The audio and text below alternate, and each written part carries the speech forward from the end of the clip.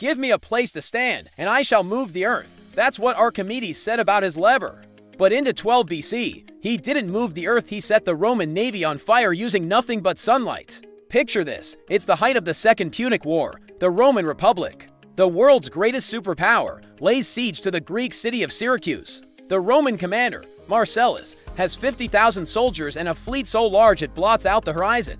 Syracuse is doomed, except they have a secret weapon, a 75 year old mathematician named Archimedes, for eight long months. This one man turned the laws of physics into Rome's worst nightmare. The Roman attack began, but every time they got close, they were met with hellish inventions. Giant cranes, known as the Claw of Archimedes, would swing out from the city walls, grab Roman warships, lift them into the air, and smash them back into the sea. Catapults hurled 500 pound stones. With terrifying accuracy, sinking ships with a single hit, the Roman soldiers were so terrified.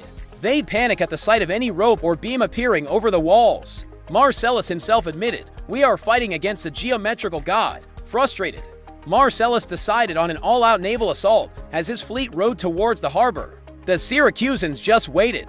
Then Archimedes unleashed his masterpiece. Along the city walls, soldiers raised hundreds of polished bronze shields, angling them perfectly. They weren't weapons, they were mirrors, all at once. They focused the intense Sicilian sunlight into a single, searing beam aimed at the Roman ships. The sails, coated in flammable pitch, burst into flames almost instantly. Fire leaped from ship to ship. The Roman fleet, a symbol of unbeatable power, was turned into a floating inferno. Modern experiments, from myth to the Mythbusters, have proven it's possible. Archimedes didn't need magic, he had mathematics. He understood the laws of reflection and used them to create a weapon. That was centuries ahead of its time. Ultimately, Syracuse fell, not to Rome's army, but to betrayal from within. A soldier, ignoring orders to spare the great inventor, found Archimedes drawing geometric circles in the sand when the old man muttered, Do not disturb my circles. The soldier killed him.